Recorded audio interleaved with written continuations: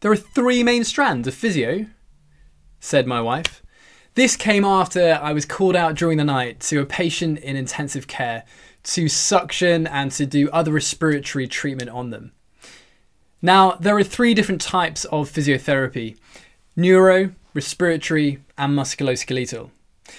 Neuro considers things anything any injury to do with the brain or the spinal cord. Respiratory is anything to do with the lungs, so pneumonia, COPD, or asthma.